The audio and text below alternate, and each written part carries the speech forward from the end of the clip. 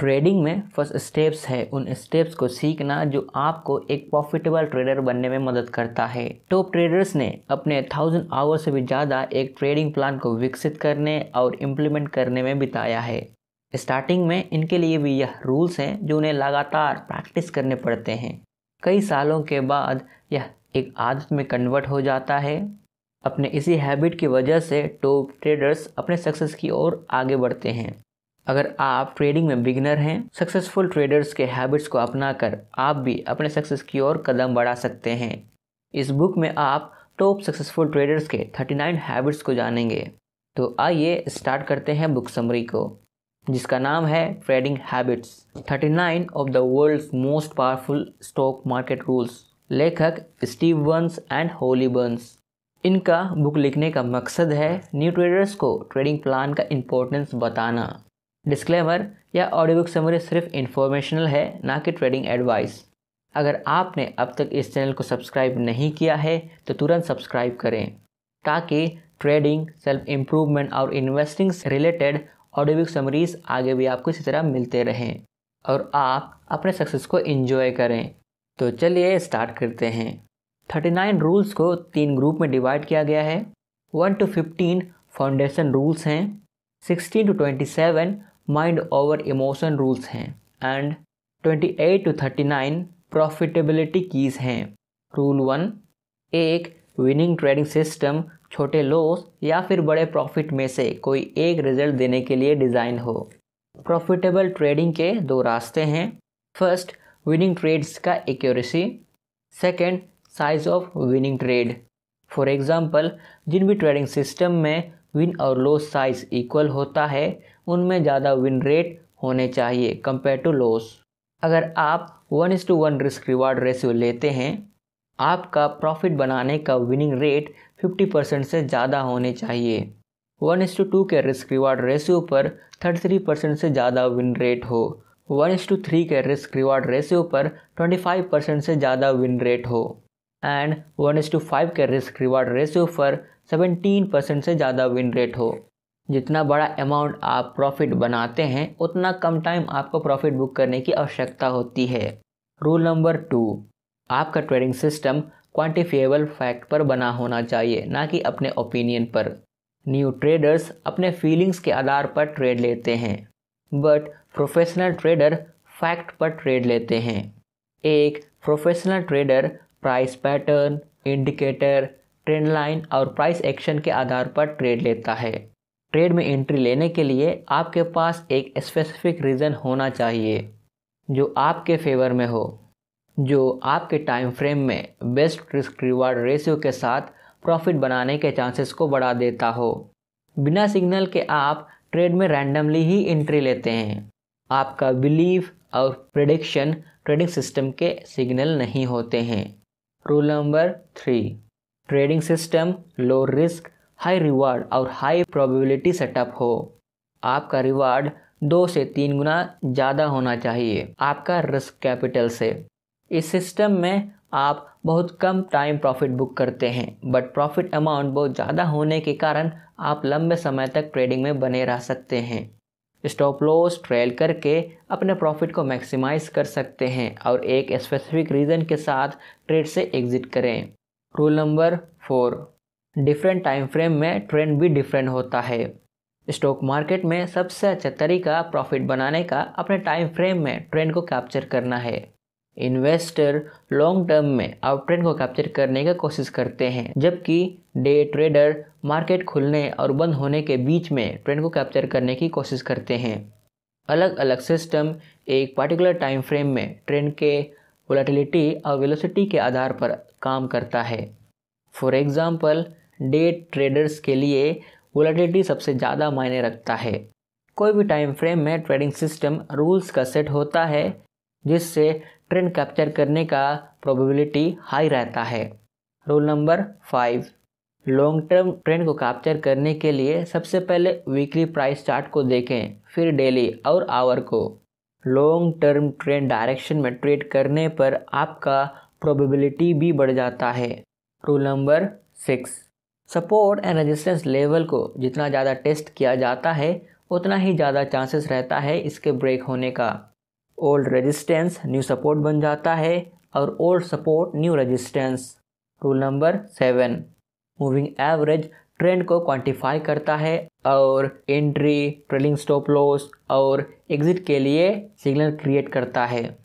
Rule number eight bull market के पास कोई भी लॉन्ग टर्म रेजिस्टेंस नहीं होता और ना ही बियर मार्केट के पास long term support rule number nine market gaps जितने बड़े होते हैं ट्रेंड के कंटिन्यूएशन में रहने के चांसेस भी बढ़ जाते हैं.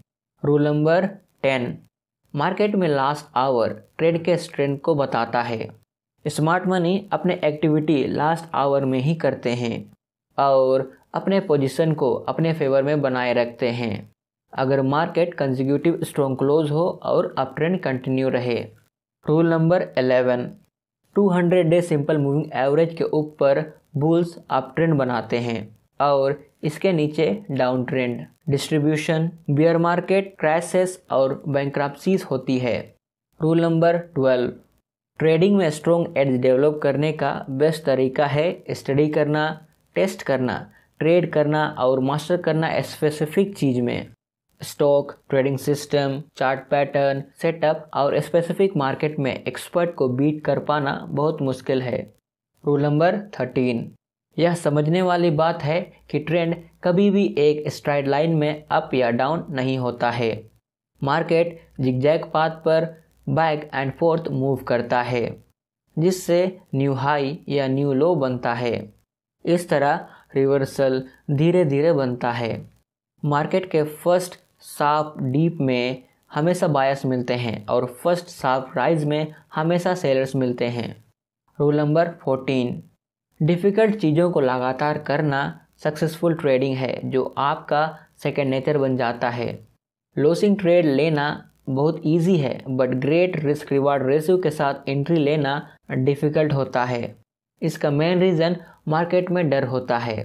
Rule number fifteen best trade जिसमें आपके एंट्री सिग्नल पैरामीटर में फिट हो और स्टॉप लॉस ऐसे प्राइस लेवल पर हो जो आसानी से हिट ना हो, जब तक कि आपका टारगेट हिट नहीं होता है। बेस्ट ट्रेड जिसमें आप रिस्क और रिटर्न पोटेंशियल को एक्सेप्ट करते हैं। बेस्ट ट्रेड जिसमें मार्केट तुरंत आपके फेवर में मूव करे, क्योंकि आपने राइट मोमेंट पर एंट्री लिया है। रूल नंबर सिक्सटीन होप अपने पर्सनल गोल सेटिंग के लिए ग्रेट टूल है बट ट्रेडिंग डिसीज़न लेने के लिए टेरिबल गाइड है। होप स्टॉक मार्केट में एक डेंजरस इमोशन है।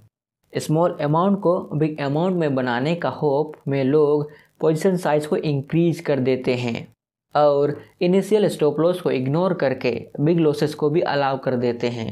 रूल नंबर सेवेंटीन अगर बहुत से लोग सोचने लगे कि ट्रेंड कंटिन्यू रहेगा या फिर अभी रिवर्स लेने वाला है तो आपको सावधान होने की ज़रूरत है। आप अपने बेस्ट सिग्नल के साथ ही ट्रेड लें, क्योंकि एक ट्रेंड में विनिंग ट्रेडर्स अपने प्रॉफिट को लॉक करने के लिए एग्जिट स्ट्रेटजी को प्रिपेयर करते हैं, जबकि अनप्रॉफिटेबल ट्रेडर ट्रेंड को कैप्चर करने के लिए एंट्री लेने की कोशिश करते हैं। अनएक्सपेक्टेड थिंग्स रेगुलरली होते रहता है ग्रोथ स्टॉक्स में।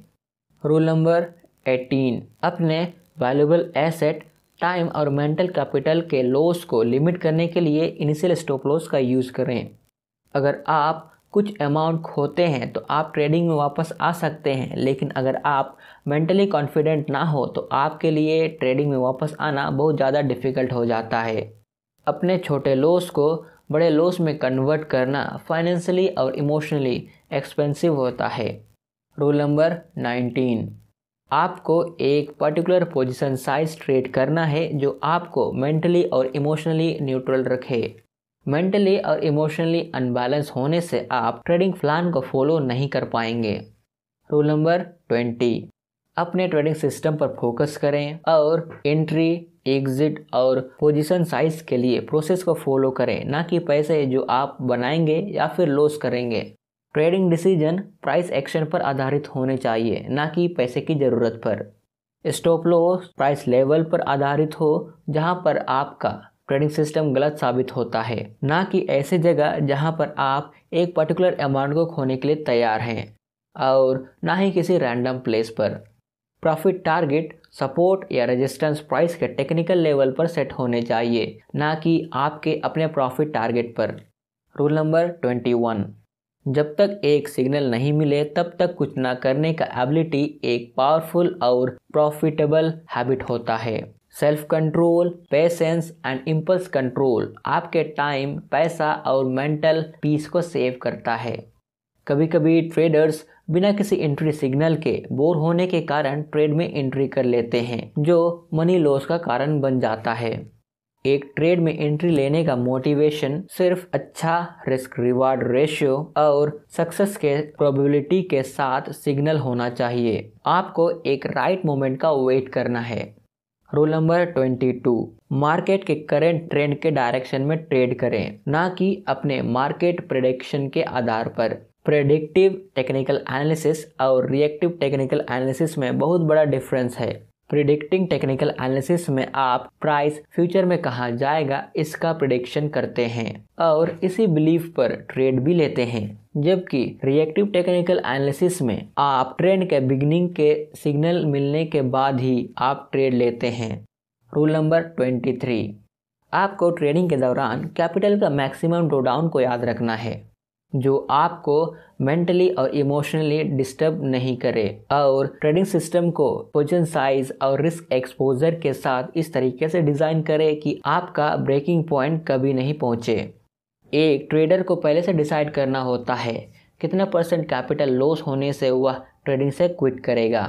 ट्रेडर्स को अपने रिटर्न्स के लिए कुछ पैरामीटर सेट करने होते हैं ट्रेडिंग से पहले। फॉर एग्ज़ाम्पल ट्रेडिंग से 20% परसेंट एनुअल रिटर्न पाने के लिए उसे मैक्सिमम डाउन पाँच परसेंट रखना है।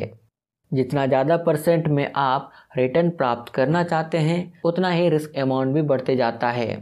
आपका ट्रेडिंग सिस्टम का विनिंग परसेंटेज इतना हाई होना चाहिए कि अगर आप एक रो में एम लगातार लॉसेस करते हो, फिर भी आपका ट्रेडिंग अकाउंट का पाँच परसेंट से ज़्यादा लॉस नहीं हो। Rule number twenty four market के ट्रेंड को कैप्चर करने का कोशिश करें। इसके एक्यूमुलेशन या डिस्ट्रीब्यूशन के डायरेक्शन में ट्रेड करें।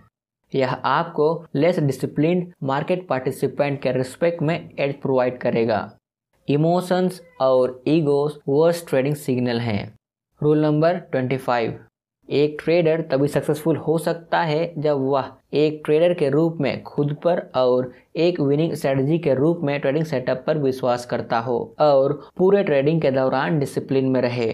आप अपने ऊपर और ट्रेडिंग सेटअप पर तब विश्वास करेंगे जब आपने खुद होमवर्क किया हो। होमवर्क के दौरान ट्रेडिंग सेटअप के साथ रिस्क एड्स और सेल्फ कंट्रोल जैसे चीज़ों को आपको हैंडल करना है। Rule number twenty six crisis equal to opportunity great value investor अपने बेस्ट मार्जिन ऑफ़ सेफ्टी के लिए मार्केट क्राइसिस के दौरान ग्रेट फंडामेंटल वैल्यूशन वाले स्टॉक्स को खरीद लेते हैं। इन स्टॉक की कीमत में गिरावट फंडामेंटल वैल्यूज़ की वजह से नहीं, बल्कि क्राइसिस के लॉस के डर से गिरता है। क्राइसिस के दौरान जब तक सिग्नल नहीं मिलता, तब तक आपको बाइंग या सेलिंग नहीं करना है। Rule number twenty seven market में नेगेटिव एंड पॉजिटिव न्यूज़ दोनों होते हैं, बट न्यूज़ एक सिग्नल नहीं है। न्यूज़ को अगर ट्रेडिंग सेटअप के साथ कंबाइन करते हैं तो आप कॉन्फिडेंट हो जाएँगे ट्रेंड में बने रहने के लिए, क्योंकि पार्टिसिपेट मार्केट के ट्रेंड के साथ बने हुए हैं। Rule number twenty eight, manage losses and maximise profits. आपके सभी ट्रेड सिर्फ़ चार रिज़ल्ट दें, small win, small loss, big win और ब्रेक इवन। बिग लॉस के रिज़ल्ट को अवॉइड करना है। बिग लॉस को रोकने के लिए स्टॉप लॉस का यूज़ करें और प्रॉफिट को मैक्सिमाइज करने के लिए trailing stop loss. Rule number twenty nine.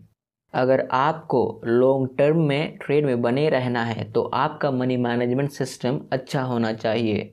आपका मनी मैनेजमेंट डिसाइड करता है कि आप एक रो में लगातार कितने लॉसेस को सह सकते हैं, ताकि आप अंतिम ट्रेड तक ट्रेडिंग में बने रहें। एक ट्रेडर सक्सेस हो सकता है अगर ट्रेडिंग सेटअप में इन दोनों में से कोई एक भी हो तो। फ़र्स्ट लो विनिंग परसेंटेज के साथ लो लॉस और big win second high winning percentage के साथ स्मॉल लॉस और small win rule number thirty risk management में डिसिप्लिन और मार्केट बिहेवियर में फ्लेक्सिबल रहें। प्राइस एक्शन ट्रेडिंग में आपको ओपन माइंड होने की ज़रूरत है और मार्केट में जो कुछ भी हो रहा है, उसको एडजस्ट करने के लिए आपको फ्लेक्सिबल रहना है। रिस्क मैनेजमेंट एक स्ट्रिक्ट डिसिप्लिन है जो आप प्लान करते हैं करने के लिए। फॉर एग्ज़ाम्पल अगर आपका स्टॉप लॉस हिट हो जाता है तो आपको बिना किसी हेजिटेशन के ट्रेड से एग्जिट होना है। Rule number thirty one risk reward parameter और एंट्री के क्वालिटी के हिसाब से अलग अलग पोजीशन साइज़ डिसाइड करें। आप अपने बेस्ट सेटअप पर मैक्सिमम पोजीशन साइज़ का रिस्क ले सकते हैं और बहुत कम प्रोबेबिलिटी वाले सेटअप में कम पोजीशन साइज़ लें। रूल नंबर थर्टी टू पर ट्रेड कभी भी अपने ट्रेडिंग कैपिटल का वन परसेंट से ज़्यादा लॉस नहीं करें। अगर आपका trading account one hundred thousand dollar है, जिसका वन परसेंट थाउज़ेंड डॉलर है, अगर आप एप्पल के पर शेयर ट्रेड पर दो डॉलर का रिस्क लेते हैं तो आपको सिर्फ़ फाइव हंड्रेड शेयर ही लेने हैं। फाइव हंड्रेड शेयर पर आप मैक्सिमम वन थाउज़ेंड डॉलर ही लॉस करेंगे। Rule number thirty three. सबसे पहले स्टॉप लॉस के लेवल को डिसाइड करें, जो आपको बताती है कि अगर आप रोंग हो तो आप कितना लॉस कर सकते हैं। इसके बाद ही प्राइस लेवल को देखते हुए पोजीशन साइज़ को डिसाइड करें। रूल नंबर थर्टी फोर अपने वर्स डे पर कभी भी ट्रेडिंग कैपिटल का तीन परसेंट से ज़्यादा लॉस नहीं करें। अगर आप पर ट्रेड वन परसेंट रिस्क का ट्रेड लेते हैं अपने कैपिटल का तो कभी भी तीन से ज़्यादा एक साथ ट्रेड नहीं लें। अगर आप रोंग हैं तो आप बस तीन परसेंट लॉस करेंगे। अभी भी आपके पास मार्केट ट्रेंड को कैप्चर करने के लिए अपॉर्चुनिटी है। रोल नंबर थर्टी फाइव जब आपका ट्रेडिंग खराब चल रहा हो तो आप अपने पोजीशन साइज़ को कम करें और जब अच्छा चल रहा हो तो आप अपने पोजीशन साइज़ को मैक्सिमम कर सकते हैं। मार्केट इन्वायरमेंट चेंज होता है फ्रॉम वोलेटाइल से नॉन वोलेटाइल में आप ट्रेंड से डाउन ट्रेंड में और इसी तरह ट्रेंड से रेंज बोन्ड में। मार्केट कंडीशन के हिसाब से रिस्क एक्सपोजर और पोजिशन साइज़ को एडजस्ट करें। रोल नंबर थर्टी सिक्स कभी भी अपने लूजिंग ट्रेड को एवरेज डाउन नहीं करें, जो ऑलरेडी रॉन्ग प्रूव हो चुका है। एक लॉसिंग ट्रेड पर कैपिटल ऐड करना मींस ट्रेंड के अगेंस्ट फाइट करना है। अगर आप रॉन्ग हैं तो एक्सेप्ट करें।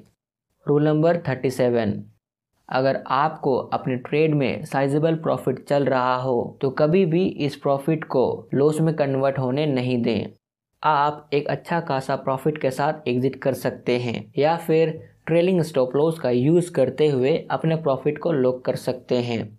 Rule number thirty eight volatility spikes के कारण बढ़ते हुए रिस्क को देखते हुए पोजीशन साइज़ को एडजस्ट करें और इनस्टेबिलिटी के नेचर को समझें। लास्ट दस दिनों के इंडेक्स या स्टॉक के ट्रेडिंग रेंज को देखते हुए पोजीशन साइज़ को डिसाइड करें। बिना किसी बड़े लॉस के साथ आप ट्रेडिंग रेंज में 50 परसेंट इंक्रीज को आराम से हैंडल कर पाएँ। वर्स्ट के सिनेरियो के लिए पोजीशन साइज़ को डिसाइड करें। रूल नंबर 39 आपका स्टॉप लॉस रेंज के नॉइज़ से बाहर हो, ताकि जब भी आप रोंग हो, तभी मार्केट से बाहर हो जाएँ। अपने स्टॉप लॉस को ऐसे प्राइस लेवल पर सेट करें, जहाँ स्टॉप लॉस हिट होने का प्रोबेबिलिटी बहुत कम हो अगर आप प्राइस एक्शन ट्रेडिंग सीक्रेट या फिर ब्रेकआउट ट्रेडिंग के ऑडियो बुक समरी सुनना चाहते हैं तो लिंक डिस्क्रिप्शन में है आई होप आपको इस समरी से बहुत कुछ यूज़फुल जानकारी मिला और इस तरह की जानकारी आगे प्राप्त करने के लिए चैनल को सब्सक्राइब करें।